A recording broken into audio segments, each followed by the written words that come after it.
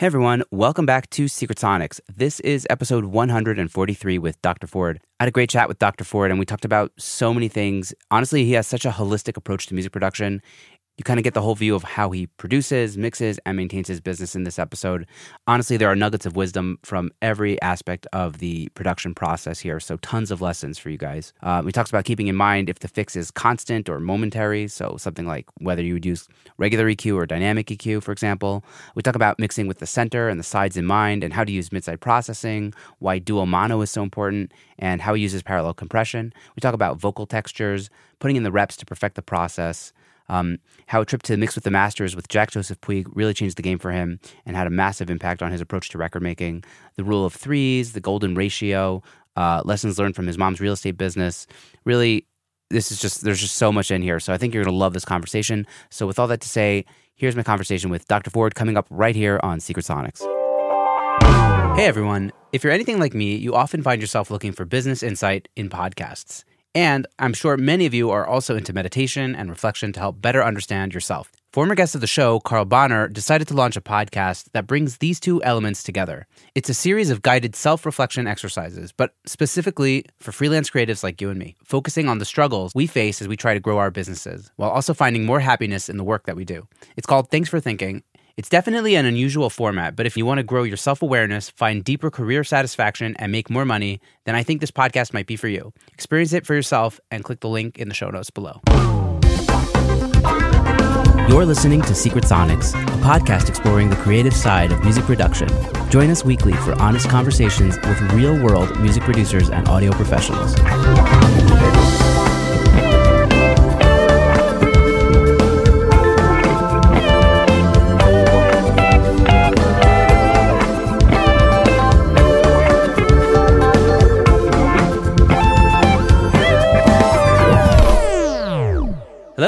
Welcome back to Secret Sonics. I'm your host, Ben Wallick. My guest today is Dr. Ford. Dr. Ford is an award winning and chart topping music producer, mixer, and composer based out of Nashville, Tennessee.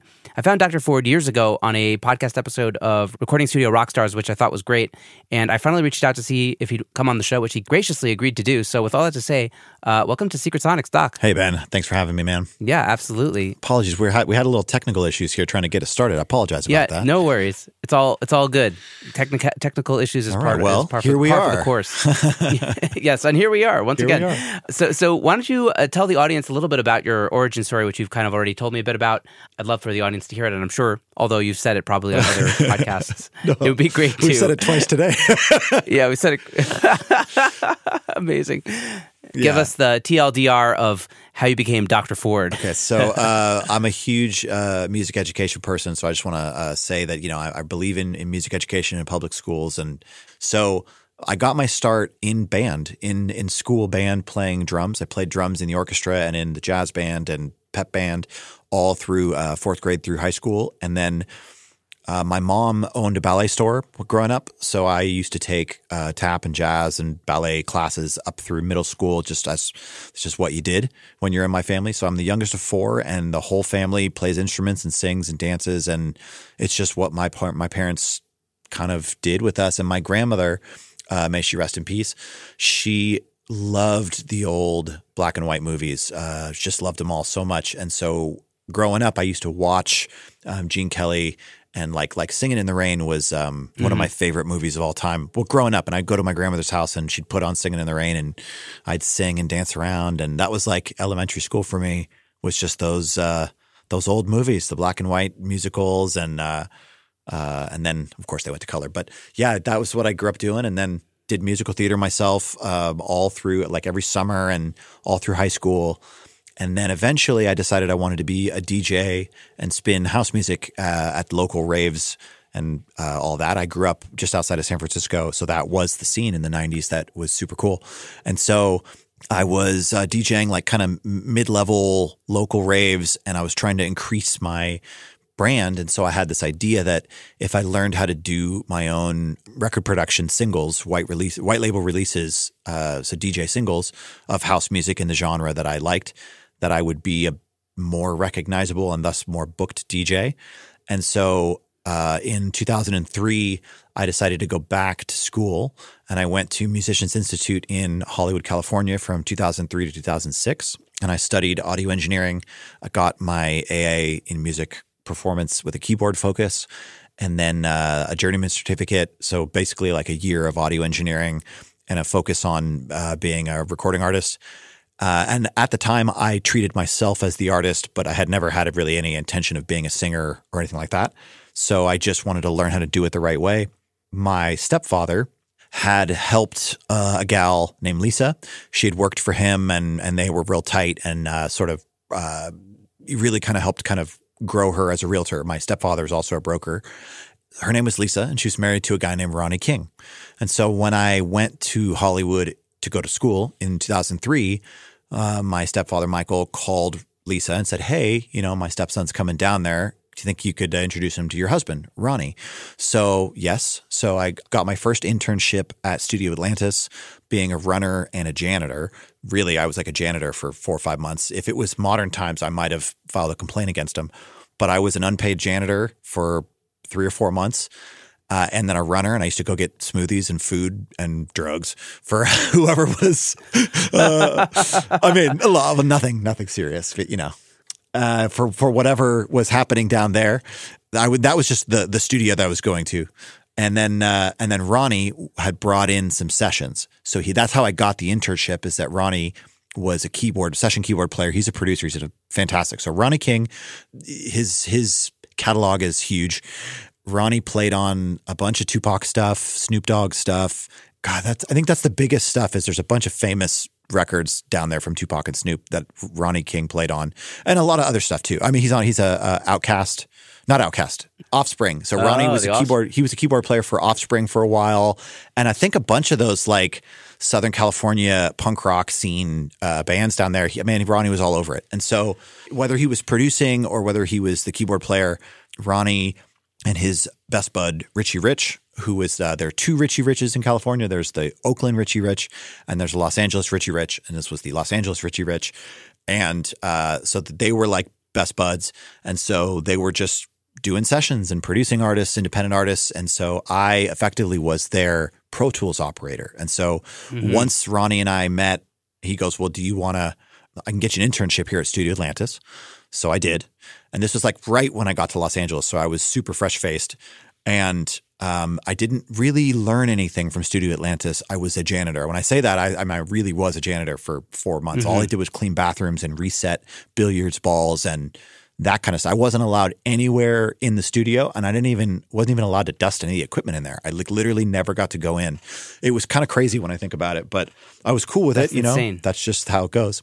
At one, so I was going to college in the day, and then I would go help Ronnie at night, and that was for three years. That's all I did was um, run Pro Tools sessions for hip hop sessions all over Los Angeles, in, from from uh, Pico at the Mint Studio. Uh, there was another one down in um, El Segundo Studio down there, and uh, got to work with Battle Cat. Got to work with um, Big Syke, uh, the the Eastsidaz Snoop Dogg's the Eastsidaz, and uh, a lot of cool like independent rap music down there, and just sort of being in the trenches, cutting my teeth on making hip hop records. Eventually, I returned to my roots. So growing up in California, um, I listened to a lot of country music, and I remember at the time that people didn't think it was cool. So, uh, side funny side story is I was on seventh grade trip on the bus, and I was listening to Garth Brooks in my headphones, and uh, somebody asked me if they could hear what I was listening to, and I let them hear it, and they were like, "What is this? I like it." And they were like, "Is this alternative?" And I was like, "Yeah, yeah," because I didn't want to. I didn't want to say I was listening to country music because I, you know, didn't want to get bullied or whatever the things we do when we're kids. And so, Totally. yeah, I grew up listening to country music. So it's a funny thing that, you know, I believe in uh, uh, just letting the wind take you sometimes. So to think that I was, you know, doing rap music and band stuff, then end up in country music is funny. But I, I've always loved country music. At the end of my college years, my my apartment burned down. That's another story. But basically, a Wow. week a week after graduation, I went out with the with the buddies, came home, and my apartment had burnt from the ground up. So I had a first floor back corner, and there was a um, surge protector in the level beneath that caught, and it burned up through my apartment. So I was kind of like, whoa, college is over for a weekend now. I guess I have to move. And uh, I was actually really looking forward to a summer of like, like finally kind of getting to work and doing all this cool stuff anyways. And so I had renter's insurance. And so I got a good, uh, a good check from them to kind of replace everything because I had to get everything. And luckily, this keyboard that's right here on my right, my Motif survived. Um, and then my computer survived, but nothing else survived. Like I have very few things from that time period. Uh, everything in my life is kind of it's, it's kind of nice because I don't have a pack rat thing. I just don't have anything from that time. But all of my childhood things all burnt up. The video games burnt up. The toys burnt up. Like everything that you know you take with you, and uh, all my clothes from back then burnt up. That had just happened, and someone was looking for a keyboard player. So they called uh, the school and they're like, hey, we have auditions for a keyboard player for this country band. And I was like, I guess I'll take a shot at it because I got nothing here. So I did and got the gig. And then I flew to Florida that summer, 2006, and uh, was there for the summer playing shows all over Florida with this country band. And then that kind of ended and it wasn't really going anywhere. And um, my sister Jessica, the number two sibling, I'm the number four sibling. Jessica mm-hmm. had moved to Nashville in 2002, 2003, maybe. And she was vocal coaching, a, uh, a singing coach, and she was doing her own music. And she had bought a house in Nashville. And she was like, Well, you could come here. So I left uh, November 1st, 2006, and drove 14 hours in a U Haul with whatever I had left. And uh, Jessica flew down and drove with me and we got to her house in Nashville. And uh, the very next day, I went to Sambuca Restaurant in the Gulch here in Nashville to get a job waiting tables, and I met my wife. So she came in. She wow. came in and sat down next to me at the bar uh, to talk to her friend, the bartender, and we sparked up a conversation as you do. That was that. So uh, you mentioned earlier you congratulated me on getting married. That's how that's how we met. So uh-huh. I, it's almost that point where I've been with her longer than I haven't. We're getting close. A few more years. Wow. Yeah. Yeah. It's amazing. Yeah. Yeah. Crazy. Anyway, well, so that's more or less. That's my. thank you. Thank you. Thank you. Thank you. That's my origin story, more or less. Uh, oh, I guess. I guess. Sorry. I guess the thing I didn't say was. Well, I was just going to say the reason I didn't go back to DJing is that as soon as I got in the studio and started making music for real, I started learning what I was doing. My love for, um, and this is a controversial thing. I believe that producers, and I don't mean like the old school producers, and that's not to diss them, but if you're doing a band at once practice uh, where like the whole band comes in and uh, you hit record and it's all live, more or less. I don't yeah. really feel that's what modern production is. That's a totally different art form. So, modern production, the producer is the recording artist, in my opinion. And I don't believe that is genre specific. Whether you program EDM, uh, whether you do country music like I do, I think the producers of modern day are recording artists. And then you have singers who are performing artists. And I think that originally that that designation uh, came because it was expensive. And so to call yourself a recording artist was a, was a distinguished because you actually had something behind you to go record. So that was pretty cool. But in these days, being a quote recording artist doesn't mean that if you're just someone who comes into a studio and sings over a karaoke track, right? So because it's just one more calling card you have. What you what really is amazing is the people that are on stage doing the act. And that I think that's amazing anyways. And so I've kind of behind the scenes, I kind of think of myself as a recording artist. Although I have no interest in singing on a thing, my medium is Pro Tools, ones and zeros, compressors and EQs are my instrument. And that's I think that I think producers are modern recording artists. And so I fell in love with that and that's kind of where I am now. It's like the creation, it's the act of creating something out of nothing. Yeah, because it's like, I think the title producer is kind of antiquated, anyways. It's like, okay, the job of the producer is to produce a product. Well, does that really right. encompass what we do every day? Yeah, anybody can put a product together. Can you? Can, are you putting art forward that is both scientifically sound as an audio engineered piece of data? You know, the thing that we do is it technically technically great and is it artistically great? And did you add your soul to it? And is there art that goes beyond? And I think that that's why we have these superhero mixers that we love because they're adding, yes, a standard of of audio excellence, but then also they have their soul and flavor in every mix they do. It's like, oh, that sounds like a Chris Lord-Alge mix. Do you know what I mean? Mm-hmm. Yeah. He's a recording artist in that, or I should say he's a mixing artist in that way. Would probably be the best way to say it, right? Although he's an excellent producer. If you've ever heard anything he's done, Mm, I don't think I've heard any. I, I mean, maybe I haven't, just don't know it. But Yeah. but yeah, like everybody who gets involved in a record imparts some of